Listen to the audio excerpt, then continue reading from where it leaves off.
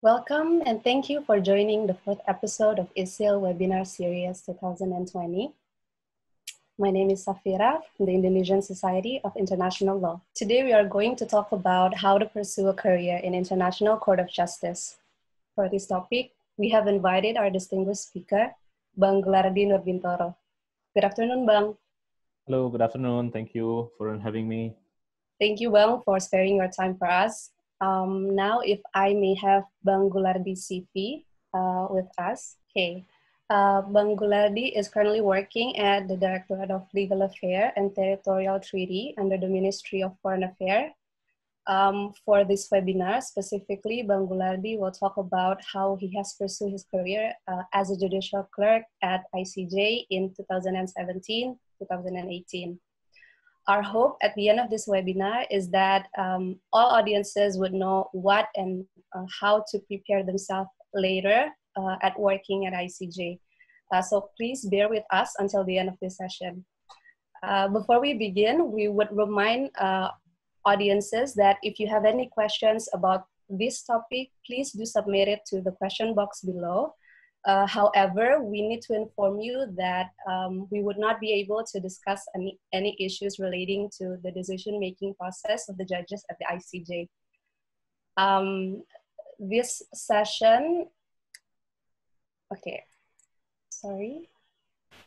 Uh, this session would focus on three points. Uh, first, uh, the student life of Bang Gulardi at University of Indonesia. Uh, second, his career as a diplomat and his postgraduate education before becoming a clerk at ICJ. And third, the judicial fellowship program at ICJ. Uh, now going directly to the first point, Bang uh, when you were still a law student at University of Indonesia, what makes uh, international law appeals to you more than other uh, area of law? Or what sparks your interest in learning international law in the first place? So uh, first of all, at the outset, I would like to thank the Indonesian Society for International Law for inviting me uh, for this uh, webinar session. it is an honor to be invited to this session. And I would like to address immediately now the uh, question uh, asked. Um, I grew up in a rather an international environment, actually. So my father works also at a foreign ministry. So I have been living in various places already since I was a kid, and uh, it uh, sparked uh, the my interest in international relations. Uh, basically, when I was uh, in junior high school, I have been always interested in international politics and also politics in general. And then uh, when I was in high school, my parents suggested to me to take law because uh, they said there is international law that you can study. So basically, I picked uh, the law school uh, based on the suggestions from my parents. And uh, I knew from the very first beginning that I would like to uh, study international law. However, I did not uh, have, I didn't know back then uh, which area of international law I would be pursuing.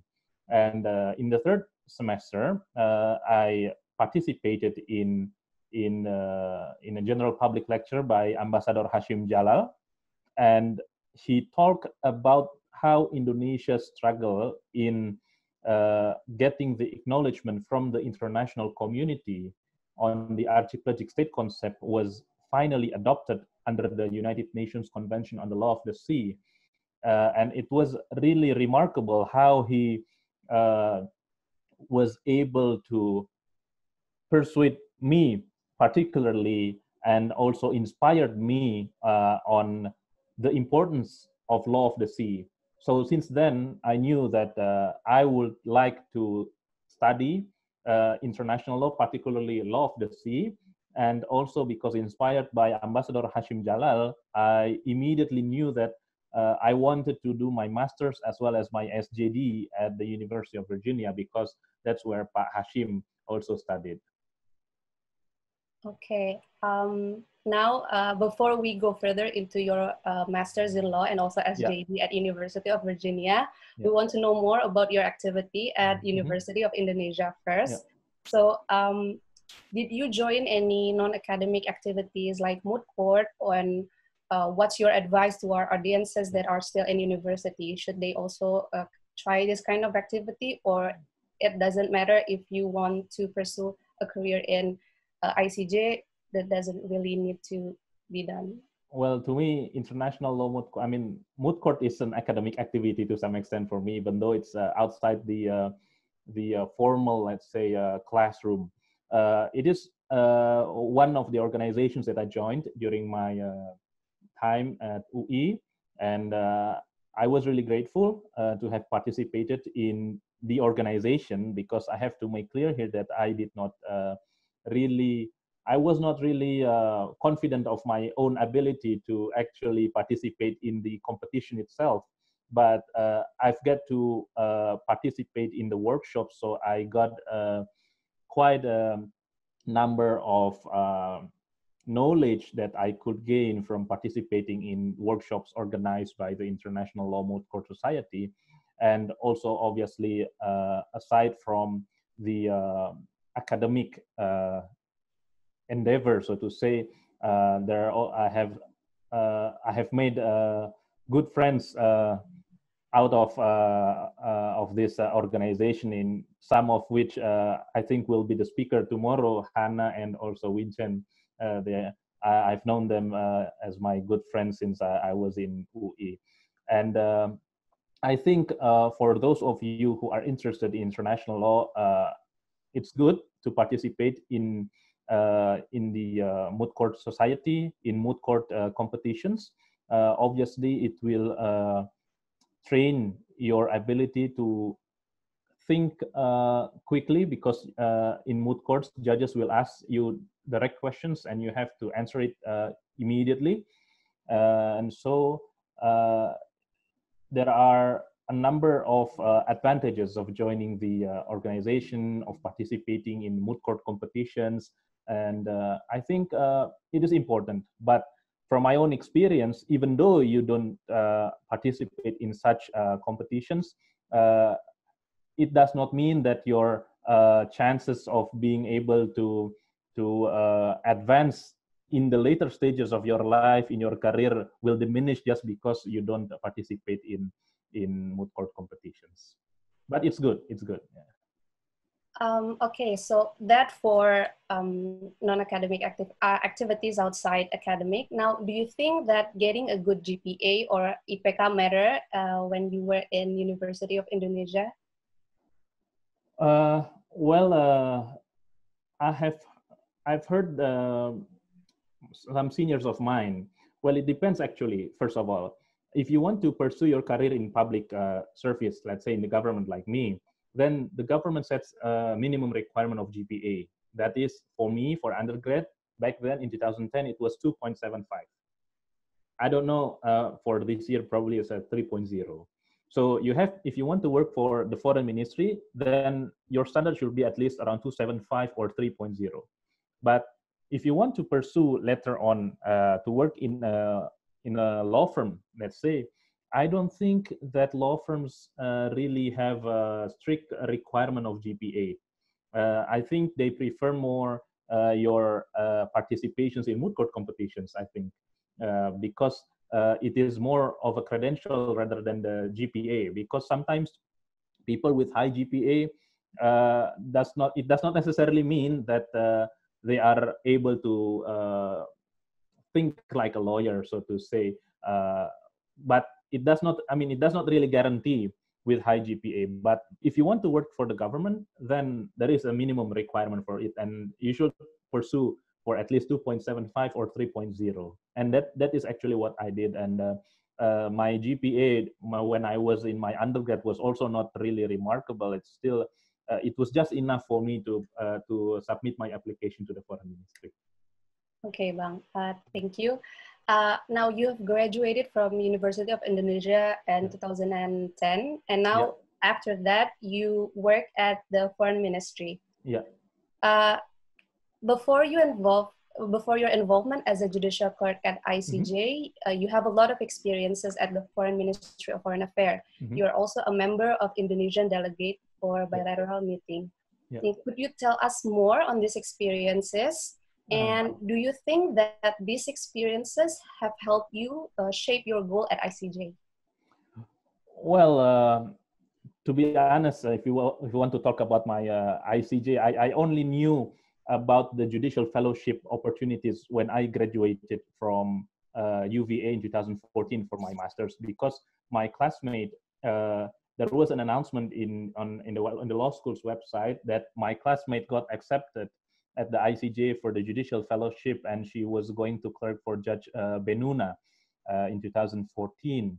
And uh, so, when I entered the foreign ministry, I haven't set my eyes on the ICJ, I, and uh, there was, to me personally, uh, my first setback, if I may say, and uh, my first realization of how the government works actually, because I expected when, as a person with a law school degree, uh, I expected to be put into the uh, legal department immediately.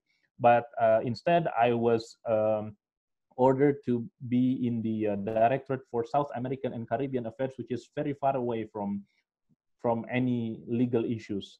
And I didn't handle any legal issues when I was there. So it was more bilateral relations uh, with the South American and Caribbean countries, uh, which I enjoyed doing it, uh, but I would have enjoyed it more if I had the opportunity to work on law issues, law re- legal related issues. However, uh, I was quite fortunate that during that time I had my very supportive director and also my deputy director who had given me immediate opportunities, uh, immediate permission to apply for the law school.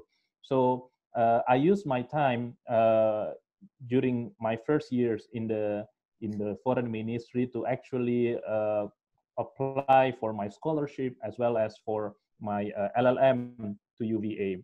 And uh, uh, my only goal was that was then to uh, enhance my knowledge in law of the sea. I haven't set my uh, goal for ICJ yet in in 2012 when I applied. I see. Okay, Bang. Uh, so after you uh, so you worked uh, before you went to university of virginia mm-hmm. to take masters of law you were in um, the directorate for south american and caribbean affairs if i'm yes. not mistaken yes um, maybe uh, let's start with uh, your education at university mm-hmm. of virginia mm-hmm. so candidates of judicial fellowship mm-hmm. Uh, this is based on my research, and mm-hmm. you may clarify uh, after yeah. this. Uh, candidates of judicial fellowship program or university traineeship program at mm-hmm. ICJ are nominated or mm-hmm. sponsored by selected universities with uh, good reputations of international law studies, meaning that uh, not all university can nominate their candidates to the ICJ. Um, there are several nominating universities like Virginia, Harvard, Yale, NYU, Columbia, and others. Mm-hmm. Uh, you said previously that uh, you haven't set your uh, thought to ICJ prior to um, being in University of Virginia. Could you tell us more about uh, that and why uh, you made your choice to mm-hmm. take masters in University of Virginia? So okay I'll, I'll start from the very first uh, why i chose uh, I, I i mentioned earlier that uh, my goal was to have to do my masters and my sjd at uva because i was inspired by ambassador hasjim djalal. So that was my sole uh, reason to go there. And uh, uh, and virginia of course is one of the leading law schools in the world in terms of the specialities in, in law of the sea. If you look at the, uh, if you study law of the sea, you will see that uh, there is a commentary to the uh, United Nations Convention on the Law of the Sea, which is called the Virginia Commentary, because actually Virginia uh, professors uh, compile all the documents relating to the negotiation process of of uh, the UN Conference on the Law of the Sea, which make them uh, able to produce seven volumes of the commentary. So that is my uh, most uh, important uh, reason why I chose Virginia. And uh, when I was when I when I graduated from my LLM, uh, as I have informed you earlier, my classmate got accepted as a as a clerk as a university trainee back then. It was called for for Judge Bennouna at the ICJ. So I tried to find out uh, what what what this clerkship is all about. And in my first year of my SJD, I I knew that uh, it has a very uh, strict requirement of having to be able to speak English and French. So I brought the case to uh, my professor and said, um, Professor, this is quite unfair for those people who are coming from countries like Indonesia because uh, let alone French, uh, our English is not uh, our first language. Even for myself, uh, I'm even until today. Sometimes I feel I'm not really confident with my English uh, ability, and uh, so how can I compete with the other other people uh, who are able to to speak English and French, and those are mostly coming from the countries from the Western Hemisphere, and and uh, the next year they uh, didn't make it a strict requirement to that anymore. And uh, so they only make it as a it, it would be a preference. It, it would be good if if you can speak the other official language of the court. And uh, so i started to i started to uh, set up my uh, i my goal to be accepted as a clerk at the icj I started to publish uh, short articles, opinions uh, in newspapers uh, to train my uh, ability in uh, conducting research as well as writing uh, papers. And I managed to publish an article, I think in 2016 in the Indonesia Law Review. It was co-authored. I was writing about the biodiversity beyond national jurisdiction. And I think the process of writing a journal uh, in the case, I think uh, it it uh, it helped me a lot in in advancing my goal to get to be accepted at the ICJ, and the universities that are participating in uh, ICJ Judicial Fellowship Program, uh, as you said, Harvard, Yale, uh, UVA, NYU, Columbia, uh, mostly are from the United States and Europe, and then also from NUS. And then sometimes there are universities from India or uh, from China. Uh, these universities have to undergo like an agreement with the court that they will find that will once the candidates are accepted they will be able to fund the candidates for the whole one year process and i think this is uh, quite uh, challenging requirement for some universities, especially in Indonesia, because imagine for a university to finance, for example, around fifty thousand uh, dollar for one person, uh, which I think fifty thousand dollars can be used can be utilized for renovating a classroom, for example, in Indonesia. And uh, so, I uh, as as of today, I, I haven't seen any Indonesian university participating in in such a judicial fellowship program, although it is possible for any university to apply. Uh, you mentioned earlier about publishing um, books and writing articles mm-hmm. about international law. Uh, could you tell us about the selection process in mm-hmm. UV, University of Virginia? Okay. Uh, how many candidates were nominated uh, from mm-hmm. University of Virginia at your time? Yeah. And how did you uh, get to be nominated by University of Virginia? So uh, every university has their own uh, selection process. Uh, at UVA, the selection process is simply based on the documents. Some other universities, they conduct interviews and really trying to uh, examine your uh, international law knowledge based on the interviews. While at UVA, uh, we are only required to submit uh, basic documents like our, how do you call it, the, the our grades, and then also we have to submit publishable uh, uh, article. So we have to write another journal basically that is uh, of publishable quality. And uh, basically that's that's the requirement. There is no interview and so on. So uh, in during my year i think there were six people applying for the judicial fellowship. And the uva every year they only select two people so one as a principal candidate and the other one as a alternate candidate. they, they submit the names to the court and the court will then choose uh, the candidates which one they will uh, they will uh, select. And then uh, they will get back to the university. They will inform the university about the selection of the court and then the court will inform the candidate whether they accept it or not. And then yeah the process is just a matter of administrative matter and it is uh, unique uh, in every law school. Some law schools submit four names. Uva only submit two names usually.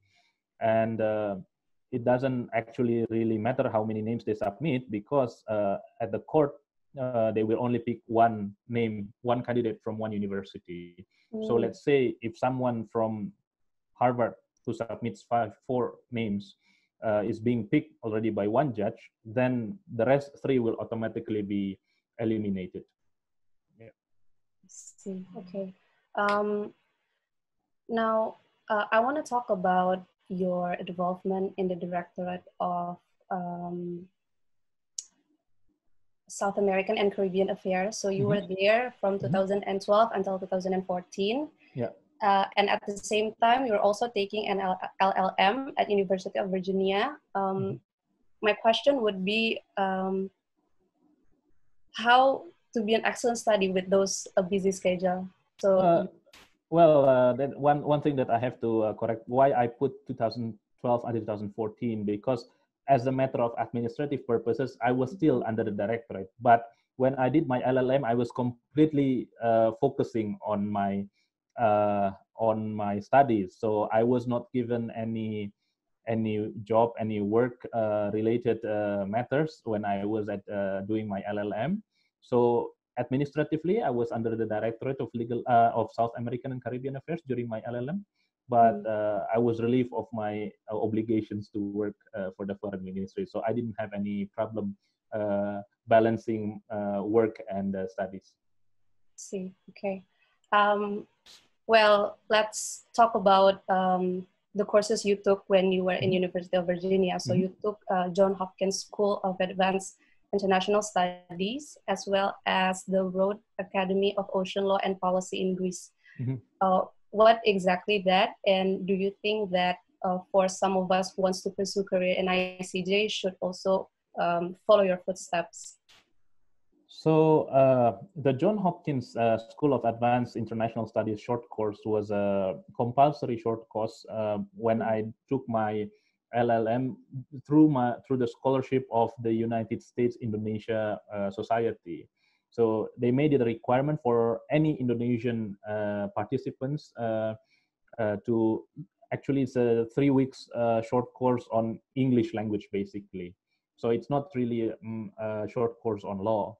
But in 2015, uh, participated in the Rhodes Academy uh, because uh, it is UVA, uh, University of Virginia, is one of the uh, sponsors of the academy, and it's a very enlightening three weeks in Greece, where the first week you get to have a basic lecture on UNCLOS, and then the second week you will be it will be it will go deeper into the maritime boundary delimitation issues and then the environmental issues. And then there is an exam at the end of the short course.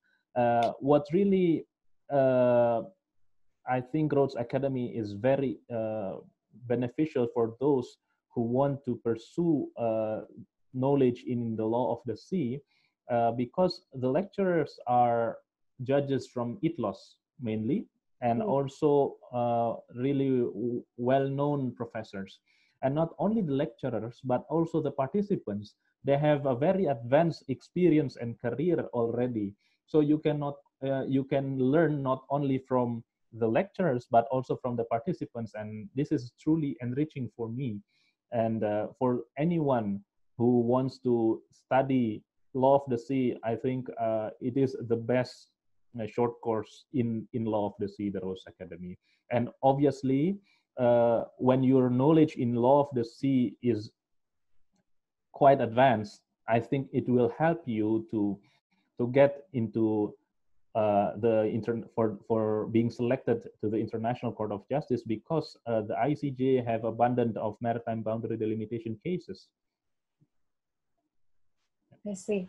Okay. Um, uh, let's now move on to the judicial fellowship program at. ICJ. Yeah. So, given the long process that it took for you to join this program, mm-hmm. you have to go through LLM and SJD. Do you think that it would be possible uh, for you to be accepted at ICJ uh, without uh, your education background from uh, University of Virginia?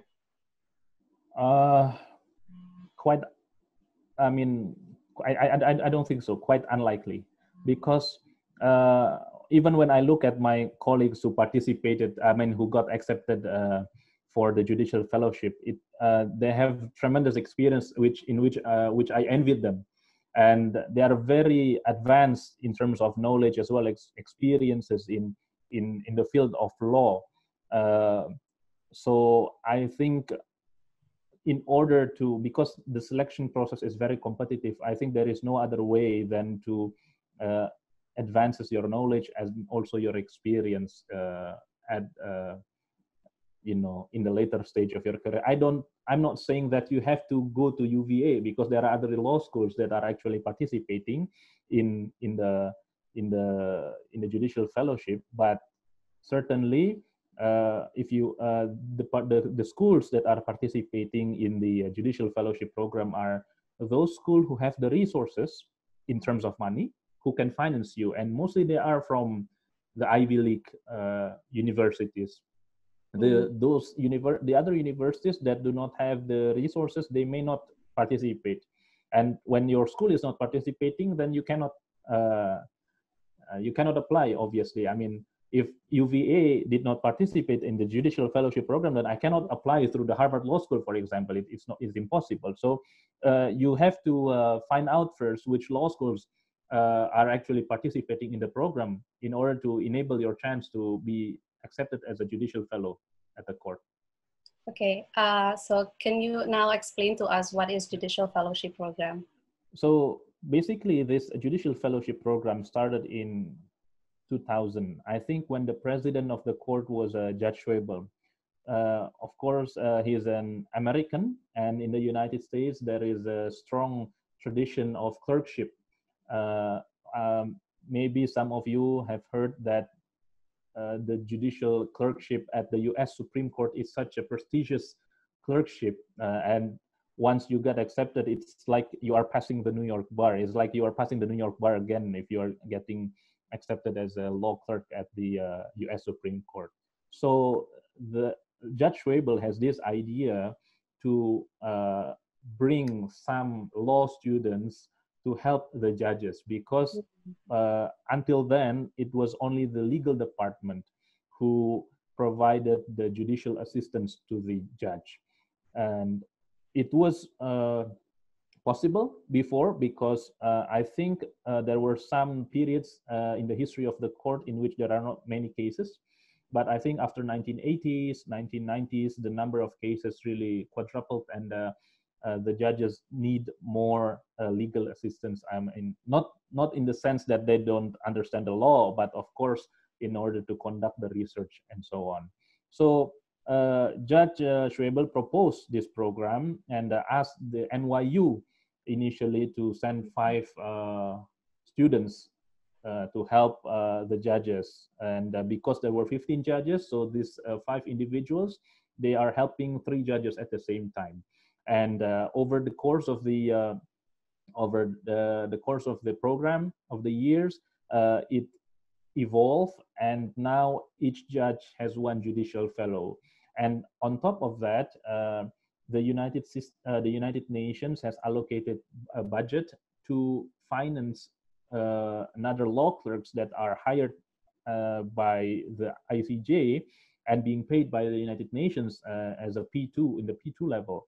That is uh, uh, the official title is Associate Legal Officer, and they are in the for a two years contract at the court, which can be extended for another two years, so maximum four years working for one particular judge. So one judge has one clerk, so to say, uh, who is being hired by the United Nations, and then another clerk as a judicial fellow in which I was uh, uh, participating in.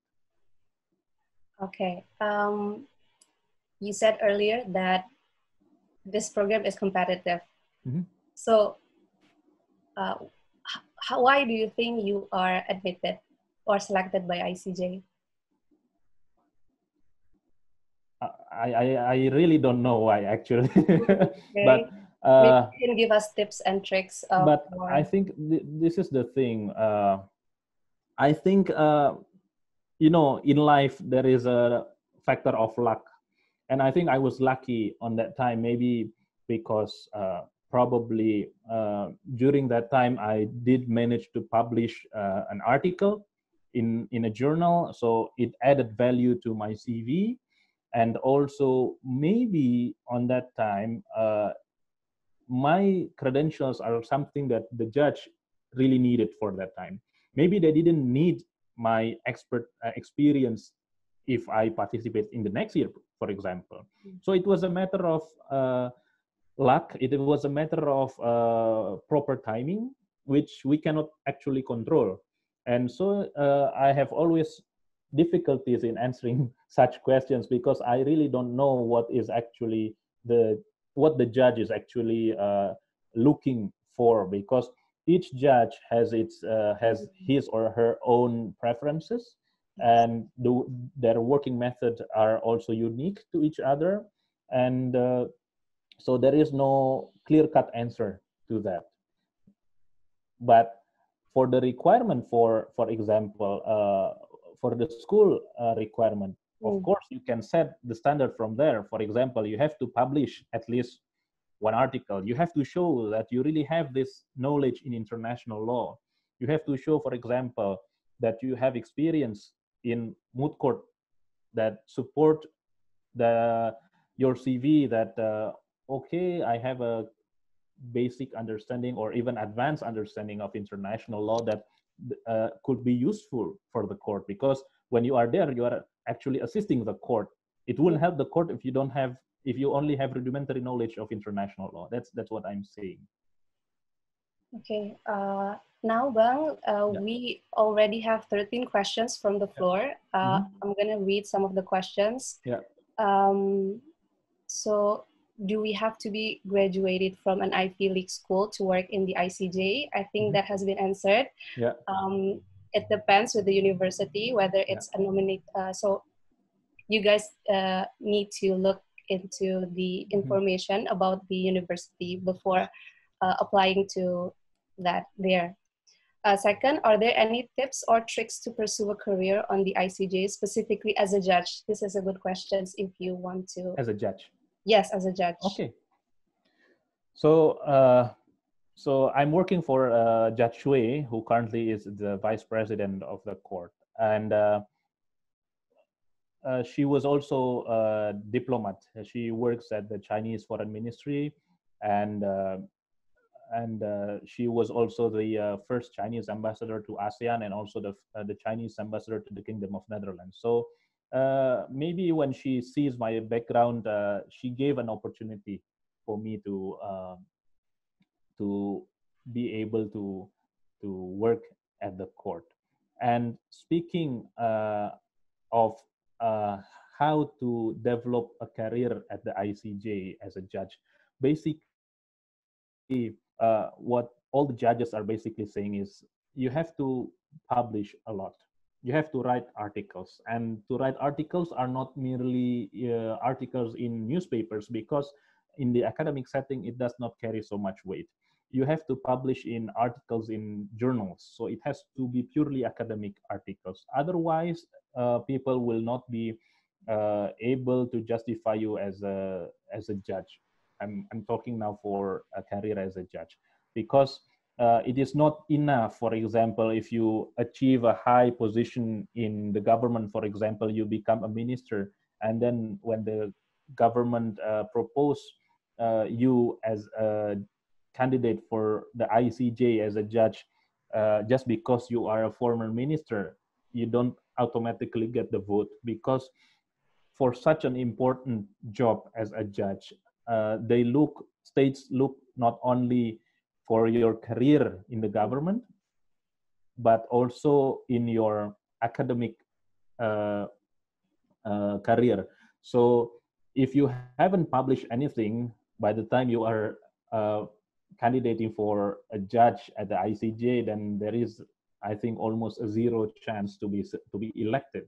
Yes. And uh, because you know, even for being a judicial fellow, they ask you to publish something. Now, imagine what is being required to be a judge at the ICJ. I think it is. Uh, it it goes without saying, basically, that uh, it it is truly needed, and uh, uh and uh, I don't see and uh, any other way to to get the chance. And this is something that I really uh, want to in uh, encourage everyone who studies international to publish a lot because then you will i mean it, you don't need to be a judge but when when the time comes and the government proposes to you as a judge then you are ready already because you already have published a number of articles in international journals and you have made your name well known already in the international community through your publications okay now let's move on to the next yeah. questions uh, Hi Bang, I want to ask a question. Is there any track or program from Kemenlu that allows the employee there to work at ICJ? So uh, there, well, uh, this is something that uh, I'm actually still working on because uh, uh, I did manage to go into the uh, ICJ because I was still doing my at the same time doing my SJD.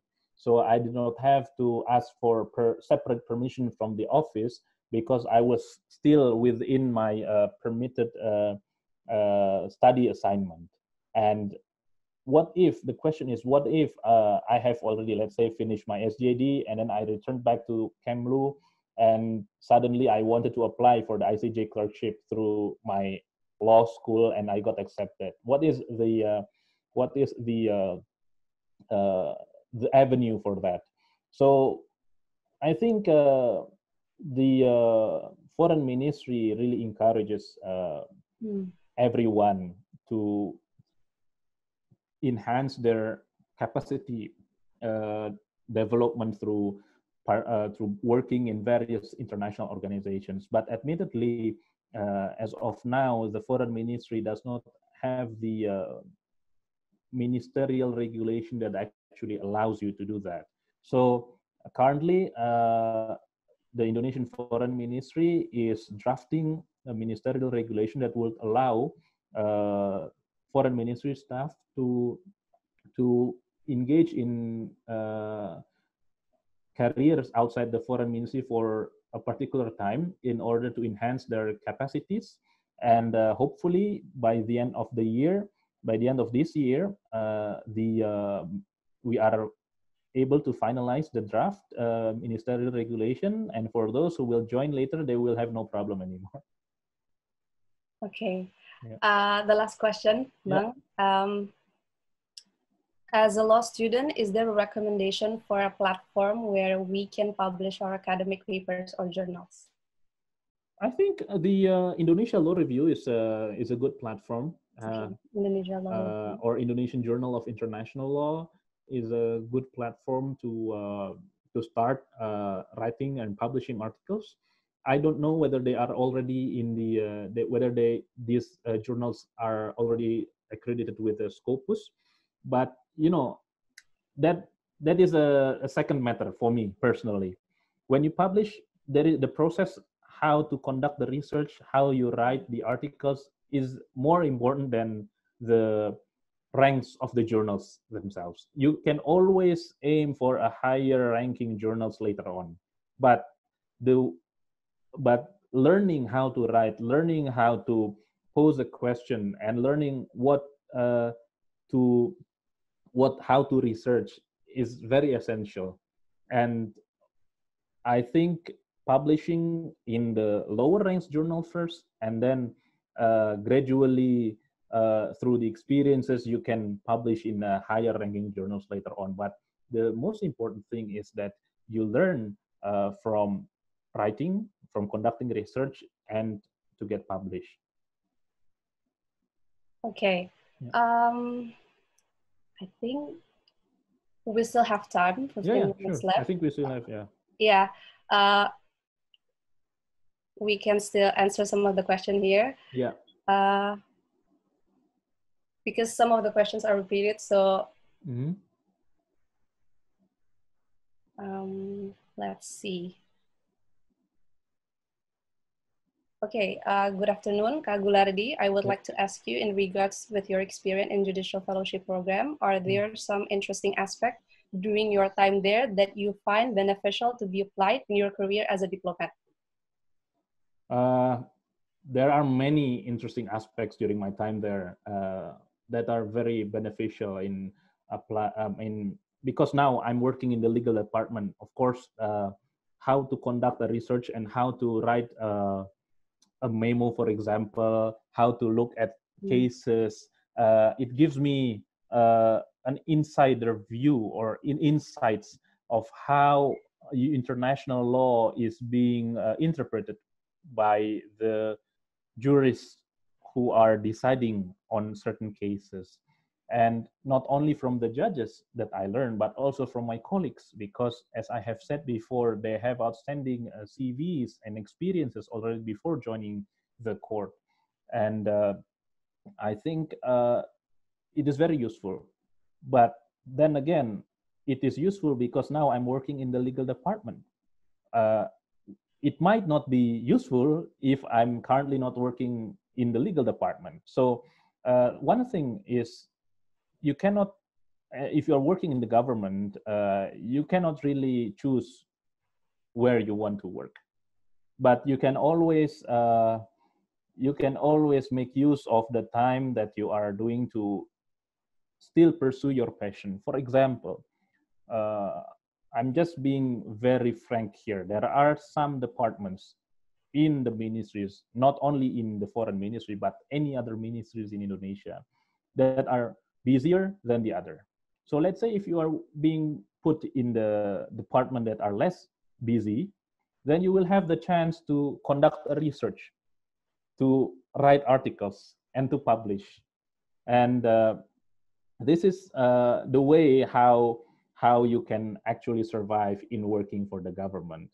But going back to the question, uh, the experience of how uh, you have to deal with uh, why you are why the case is being decided this way and why the court uh, is deciding this and not that it, it gives you it gives you a clear view of how international law stands as of today. And also how to look into the uh, wordings of the judgment. Now for now if i look at the judgment like this i can understand okay why is this like this? Mm. before i just take it like it is. Oh maybe maybe maybe the judges meant this. And there is a gradual uh, as i progress through my first uh, from my university uh, when i was in undergrad i just studied the judgment from the slides powerpoint presentation of the professors. I think all of us do Yeah. that until today i think. And when i did my llm i started reading the summary of the judgment. And when i did my sjd i started reading the whole judgment. And the icj i am compelled to read not only the judgment itself but also the uh, memorials and the counter memorials of the of the parties and also the separate opinions and the dissenting opinions and the concurring opinions. And uh, it is a gradual process. Now i can understand international law better because i have read all those materials. So if you want to pursue international law obviously not only to write but you have to read as much as possible. Mm. there is no there is no other way. You, you cannot rely only on those slides uh, to get accepted at the icj i think that's that's the key Yeah, international law definitely requires work hard. yeah Um, there is a question. Um, as a law student that wants to pursue a career in ICJ, Mhm. uh, which is more important, building my academic reputation, publishing journal, etc., Mm-hmm. or expanding my legal related experience like internship? I think it is not an either or option. You can do both actually, because like you can be doing an internship at UN uh, organization. At the same time, you can do after and an internship at UN organization usually only lasts for three months or six months at the maximum. And afterward, you can go to study LLM, and then you can pursue your uh, educational knowledge even further. And uh, so these two can actually adds up to your credentials, and you don't need to pick uh, like one. Uh, and everyone, uh, I think at the ICJ, uh, my colleagues they have both actually they have experience uh, internship in law firms or working for a certain government as a legal officer and then also uh, doing their JDs or their LLMs or even their PhDs and so it will you know the more credentials that you collect the more experiences whether it is academic or whether it's uh, working experiences it will just uh, enlarge your uh, probability to be to be selected to the court. And one thing that i uh, want to uh, clarify here is that working as a judicial fellow is not a career. It's a 10 months program. It is not uh, even for the uh, associate legal officer it's it's a career but it's when you when we say something uh, when we talk about career we imagine something of a gradual uh, promotion yes. but when you are working at the ICJ, you work for the judge for two years and the maximum for four years, and then it's and then it's done. You have to find another job. So it's not really a career in the sense uh, when you are working for the government, for example. I started in 2010, and then I built up my, my career being promoted to uh, a higher uh, rank, but it does not work that way in the ICJ. So my friends usually they work in the ICJ and uh, after they finish their clerkship, uh, they work for public international law firms, which are also very, uh, uh uh, which is uh, also an opportunity. It's a good opportunity for you to develop your skills and also knowledge international law because they are representing states before the ICJ, and so it's a it's a combination of a, of a career basically so it's it, there is no uh, uh, we should not imagine that you work for the ICJ for your whole life. That that's not possible, unless you're working in the legal department actually, or in the administrative department. Okay, I think there are no new questions, mm-hmm. so we will close our session today. Mm-hmm. Uh, let okay. me just say thank you so much, Bang Gulardi, uh, who has shared us many information about uh, working as a clerk in ICJ, yeah. as well as an important advices on yeah. how to pursue uh, a career in international law. Mm-hmm. Uh, allow me also to thank uh, all the audi- audiences for joining us. We have also uh, many dialing from almost all provinces in Indonesia. Mm-hmm. So the we have 19 universities from Indonesia uh, registered for this webinar uh, one university abroad, uh, seven law student organization, as well as four institutions like OJK Pradi. Yeah. Uh, just to let you know, uh, we have more webinars to come, so please follow our social media update. Uh, our official Instagram is at Jessup Isil, and please subscribe to our YouTube channel, Isil Event, as we will upload this rerun uh, video today probably next week. Um, okay. Okay. Please stay tuned. Once again, thank you so much, Bang, and thank all you so much. Thank you. in this webinar. And goodbye. Goodbye. Thank you. Have Bye. a nice day. Bye.